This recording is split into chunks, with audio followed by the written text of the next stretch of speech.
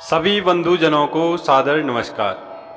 बंधुजनों, आइए श्रावण मास में जानते हैं भगवान शिव के ध्यान का मंत्र। तो आइए।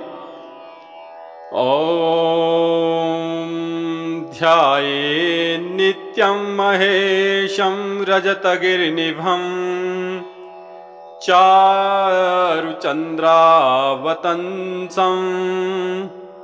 रत्नाकल्पोज्ज्वलाङ्गं परशुमृगवरा। भीतिहस्तं प्रसन्नम् पद्मासीनं समन्तात् स्तुतममरगणैर्व्याघ्रकृत्तिं वसानम् विश्वाद्यं विश्ववन्द्यं निखिलभयहरम्